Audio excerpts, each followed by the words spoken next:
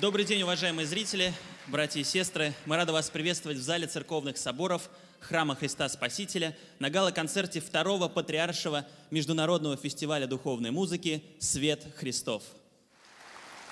Дорогие братья и сестры, мы поздравляем всех участников и приглашаем на сцену зала церковных соборов для вручения памятных наград лауреатов фестиваля. Лауреат второй степени, смешанный хор Спаса-Вознесенского кафедрального собора города Ульяновска, регент Роман Анатольевич Хитев –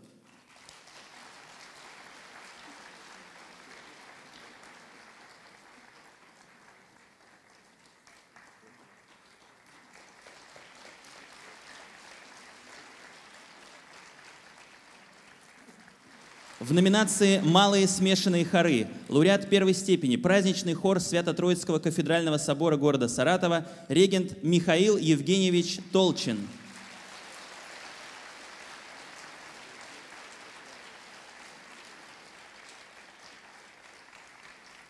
Лучшее исполнение песнопения в честь преподобного Сергия Радонежского. Хор, праздничный хор Свято-Троицкого кафедрального собора города Саратова, за исполнение стихиры преподобному Сергию Радонежскому на перенесение мощей «Днесь веселится небо свыше». Ваши аплодисменты.